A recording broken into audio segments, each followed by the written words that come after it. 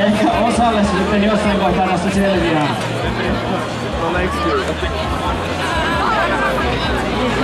Jag tyckte han sa något optimist. Jag tyckte han sa optimist. Jag tycker han är...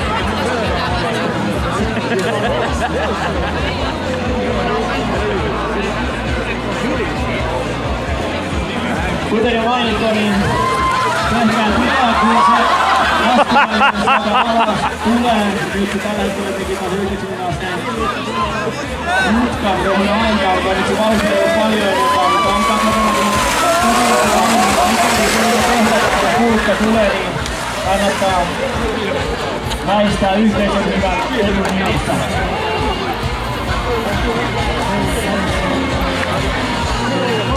Saadaan vielä kemistien kelkka oikeaan suuntaan, niin mäki tulee lasketuksi alas asti.